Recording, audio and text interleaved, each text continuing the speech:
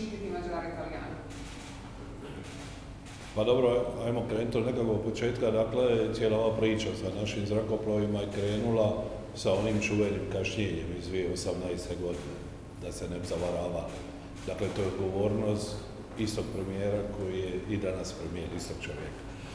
E, što se tiče čuvanja hrvatskog neba, jasno u okviru NATO-ove integrirane raketne i zračne obrane, moguće je da zemlje članice međusobno čuvaju svoj zračni prostor, posebice one zemlje koje imaju zastarjelo zrakoplovstvo, koje ne posjeduju zrakoplovstvo i tako dalje, moguće je sklopiti takve bilateralne ili trilateralne sporazume. E, mi za sad imamo takav sporazum sa Mađarskom iz 2019. godine, dakle to je sporazum o, suradnji u području vojnog zrakoplovstva i protuzračnih aktivnosti. Mislim da on datira negdje srpanj, lipanj 2019. godine i Hrvatski sabor je taj sporazum i odobrio, dakle postoji zakon o sporazumu. E, sa druge strane, ne znam na temelju čega ministar Banožić tvrdi da će Italija u tome sudjelovati, jer mi sa Italijom nemamo nikakav sporazum i to sam provjerio. Dakle, prije bilo kakvog sudjelovanja prije ulaska, pa možemo ih nazvati bez obzira što se radi o državama saveznicama, ali radi se o stranim zrakoplovima, vojnim. Prije takvog ulaska mi bi trebali kao Sabor odobriti tako nešto, a na temelju prijedloga vlade, odnosno na temelju sporazuma između vlade Republike Hrvatske i vlade Republike Italije. A znate li vi e, koliko je dnevno operativno uopće borbenih aviona Hrvatskog Ne, ali da znam, sigurno vam ne bi taj podatak rekao. E, ja nisam o tome obaviješten, niti moram biti obaviješten, to je stvar koja se tiče čisto vojnih snaga, to je stvar koja se tiče glavnog stožera i oni eventualno mogu imati taj podatak.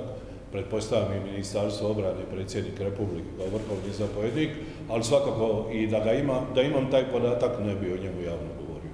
S obzirom na, ona, na naše iskustvo s onim e, dronom, možemo li mi biti sigurni da također NATO nije očito spriječio ili uvidio taj e, dron koji je letio, treba li ponovno aktualizirati pitanje drona, treba li javnost naći odgovore ili to nekako pa mislim, mislim da, tu, da tu postoji odgovori, druga je stvar što odgovorima ne pričam. Dakle, dogodilo se to što se dogodilo i mislim da je to najbolje.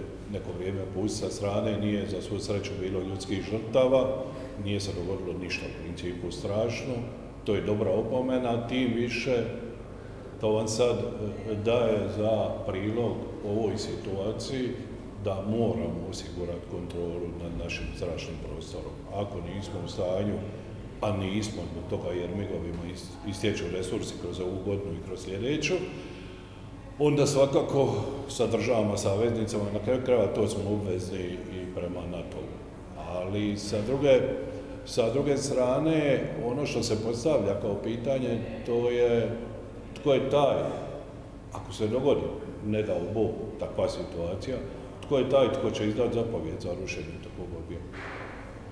Dakle, mi nemamo zakon koji bi regulirao taj dio.